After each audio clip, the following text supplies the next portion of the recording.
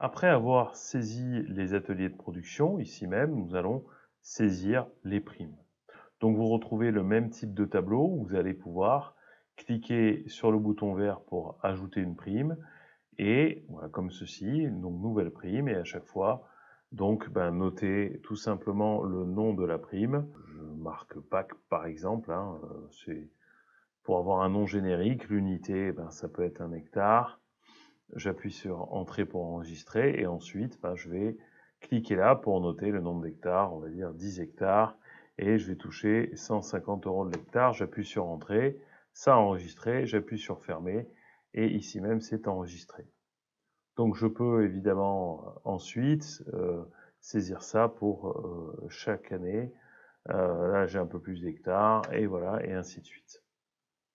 De la même façon que pour les ateliers, j'ai un bouton pour supprimer et un bouton pour intervertir l'ordre des primes.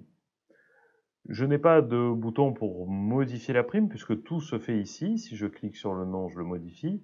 Si je clique sur l'unité, je le modifie. Si je clique sur un montant d'une année, je vais les modifier.